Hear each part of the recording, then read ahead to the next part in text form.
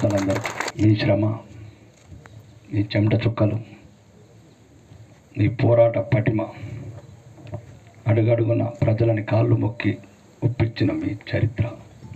నేను ఎమ్మెల్యేగా ఎన్నికైనప్పుడు చరిత్ర ఇక్కడ వేరే ఉంది. అడుగడుగున నిర్బంధం ఎమర్జెన్సీ కన్నా ఎక్కువ దౌర్జన్యం. సోదరుడు చెప్పినట్లు మాజీ మాజీ మాజీ. ఇంకెప్పటికీ మాజీ చేసేసినామని డోంట్ వరీ అలరాడు నేను ముందు ఎమ్మెల్యే కాగానే ఒక్క రోజుల తర్వాత ఇట్లా ఫోన్ చేసిండు. ఏమని అది నందిపేటలో ఒక ప్రోగ్రామ్ ఉంది వికసిత్ భారత్ అని. ప్రోటోకాల్ ప్రకారం ఎమ్మెల్యే రావాలి.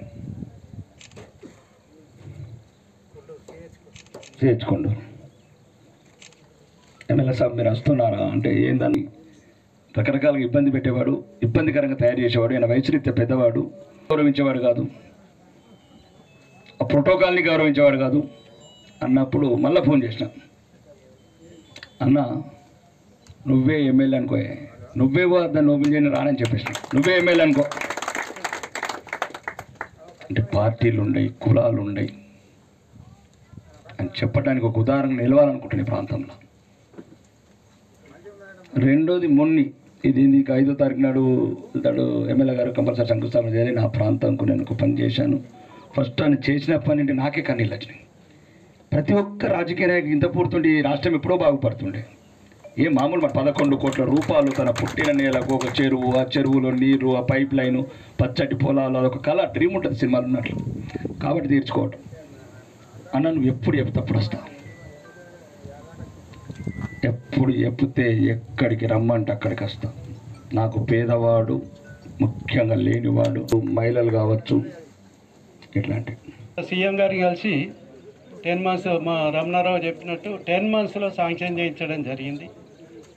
కానీ నాకు దానికంటే ఎక్కువ శంకుస్థాపనకే టైం ఎక్కువ తీసుకోవడం జరిగింది.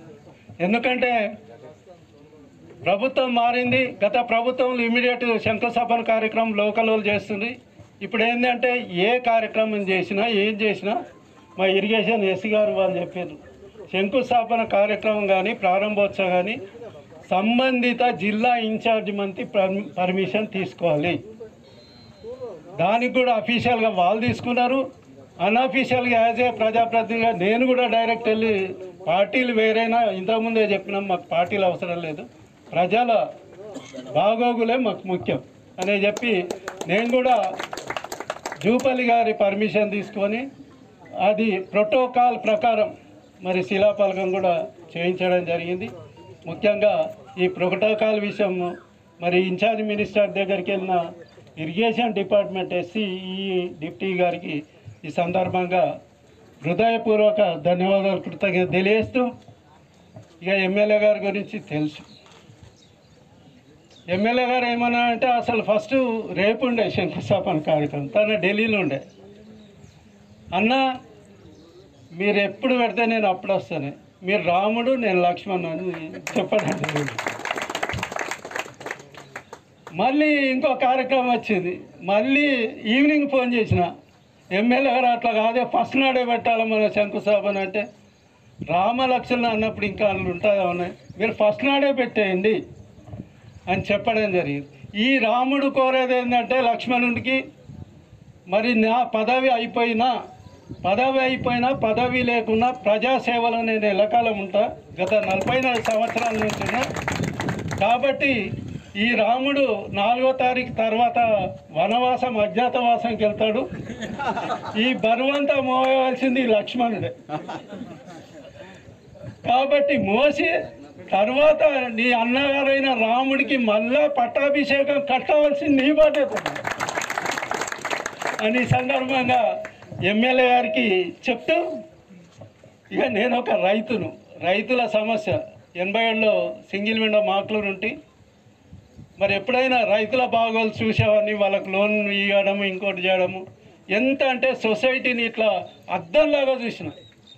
నందిపేట నుండి రోజొక రూట్లో వస్తుంటే ఒకసారి ఆంధ్రనగర్ కావాలని ఇతర కార్యక్రమాలు కావాలన్నా చేస్తుంటే అట్లా మొదటి నుంచి నేను కమిట్మెంట్గా రైతుల కమిట్మెంట్గా ఉన్నా కాబట్టి మరి ఈ ఏదైతే లిఫ్ట్ ఉన్నదో సునాయాసంగా నేను శాంక్షన్ చేయించిన. అట్లాగే మన వాళ్ళందరికీ తెలుసు. గాలిబ్ నగర్ టు మాందాపూర్ ఇదే రోడ్డు. గతంలోన ఒక ప్రజాప్రతినిధి దగ్గరికి మా గ్రామస్తులు ఒక ఐదేళ్ళు నడిస్తే కిలోమీటర్ బీటీ చేయలే కాలే. నేను వచ్చినాక సిక్స్ మంత్స్ తర్వాత పిఎంజీ వైస్ కింద Galib Nagar Nandipet road Galib Nagar to Mandapur BT road చేయించు మూడు కోట్ల అరవై లక్షలతో.